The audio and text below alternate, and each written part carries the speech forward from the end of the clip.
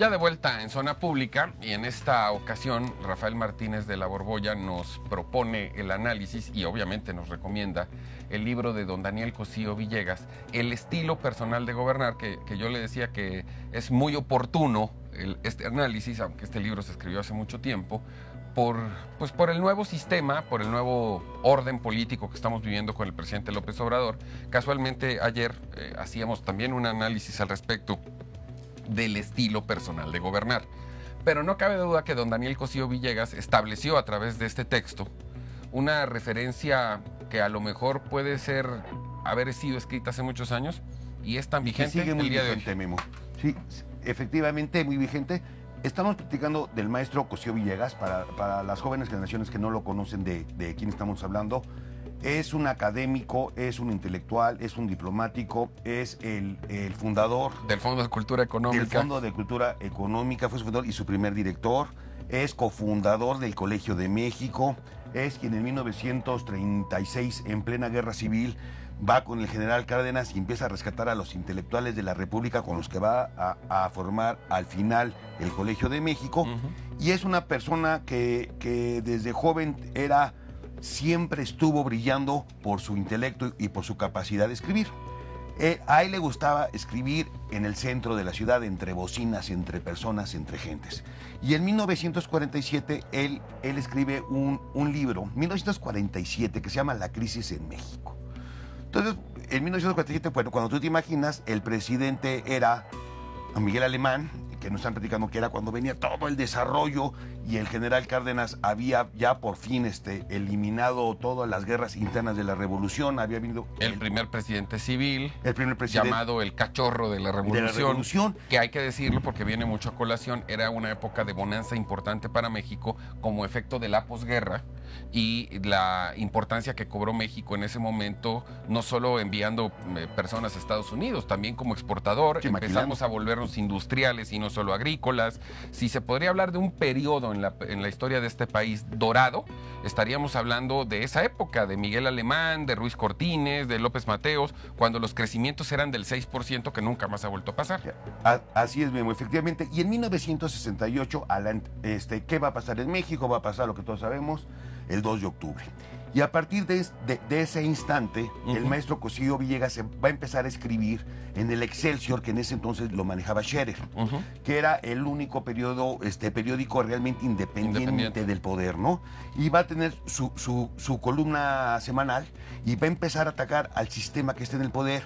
Y él empieza a reflexionar en esos escritos qué es lo que le pasó a la Revolución Mexicana, que tan solo en 30 años se había convertido en otro porfiriato para él y que había y que las demandas de, democracia y justicia social estaban tan olvidadas. Y entonces él determina que lo que le está pasando a México es que ha caído en un presidencialismo autoritario y donde un solo hombre es el que está mandando todos los destinos de la nación. Y lo más importante, y es algo que, tenemos que analizar, en 1974 el presidente es Luis Echeverría y en 1900 era eh, un presidente todopoderoso y de repente en la sombra sale un pequeño ensayo, porque además no es ni un libro, es un ensayo, 1974 que se llama El estilo personal de gobernar. Y en el estilo personal de gobernar de repente va a llamar a la eh, tal cual. Él dice que, pues, que el presidente de la, de la República es, un es una persona que habla mucho, que es muy locuaz y que se le olvida que entre más hablas, menos haces. A ese grado siendo presidente el otro. Y, después... y que hay que decirlo, que era una época donde sí existía la censura y donde el Estado sí ejercía una presión sobre los librepensadores. Sí. Y después, por ejemplo, él pone que este también que, que lo peor que le podía pasar a un ciudadano mexicano o a un o a un este funcionario público es que tú fueras a, con, Luis Echeverría y que dijera la palabra reflexionar. Porque el presidente no sabía lo que era la palabra reflexionar, que para reflexionar era hacerte un, pues un monólogo de cuatro horas llega a cuestionar que él, lo que más le impresiona al presidente de la República es su capacidad fisiológica de no ir al baño, que porque puede aguantar discursos de seis horas sin moverse, sin rascarse. Giras larguísimas. Y, y te lleva a ese grado de, de, análisis. De detalle.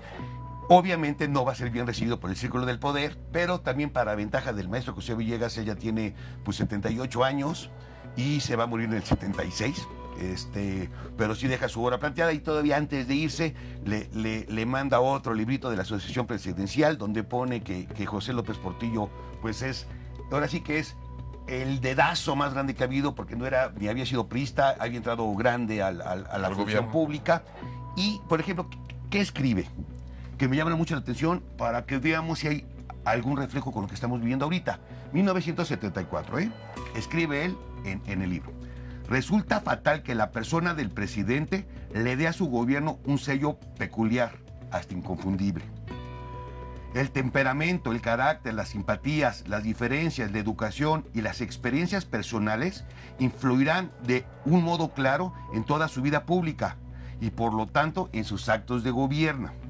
Esta está tremenda.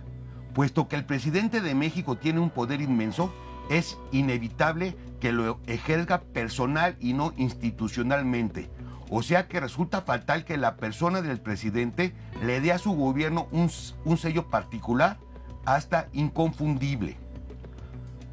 Y acaba diciendo él que Luis Echeverría padece de una propensión a hablar, una, una necesidad fisiológica cuya satisfacción periódica resulta inaplazable, que proporciona, que propicia el monólogo presidencial.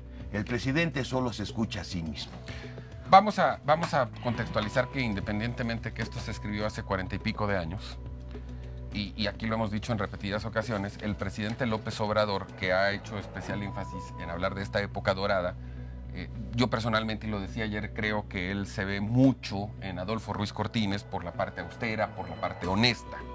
Y en Echeverría por sí. pero, eh, a ver, pero él hace su carrera política, él nace políticamente en el periodo de Echeverría, siendo priista. Él vive intensamente esa época como funcionario público y, y yo estoy convencido de manera personal que para López Obrador su alter ego es Luis Echeverría.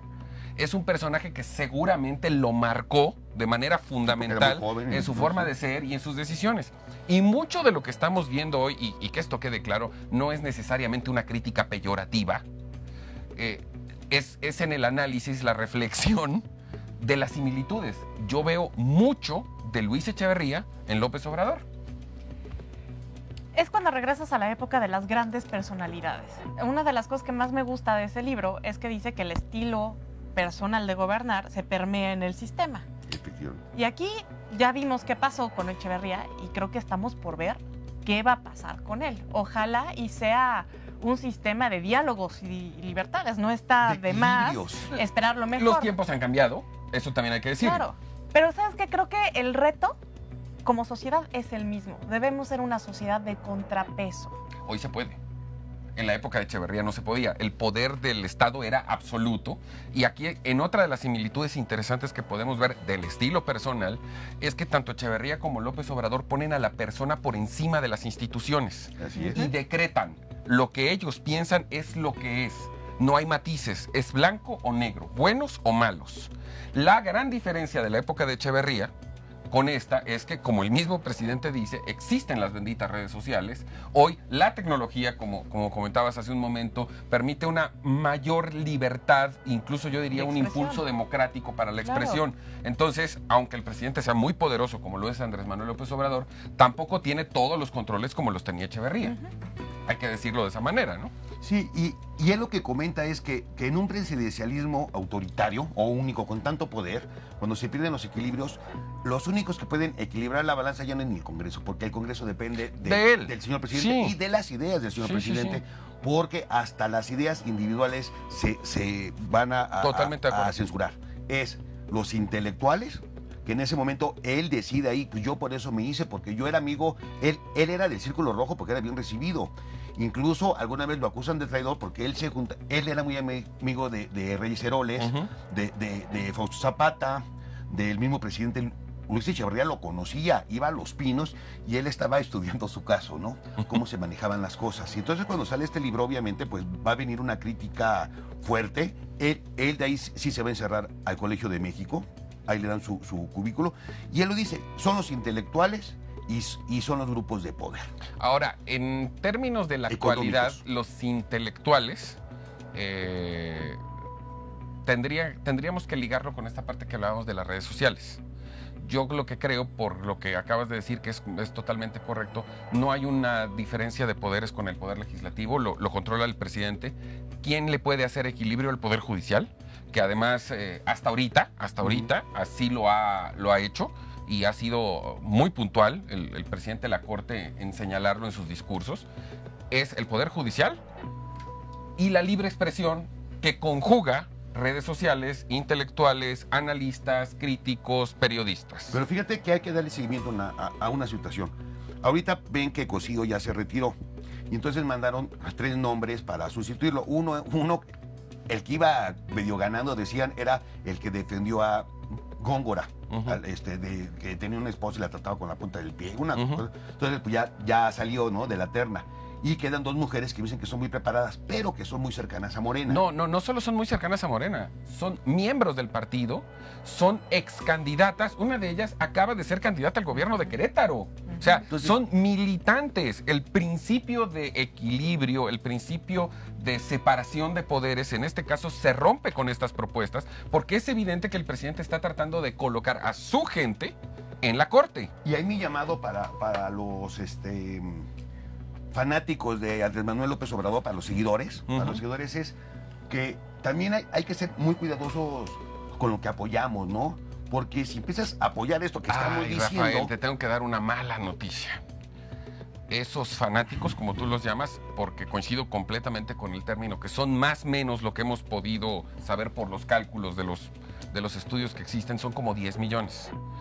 Yo no te aconsejaría que te dijeras, dirigieras a ellos porque no te van a hacer caso. No analizan y no reflexionan.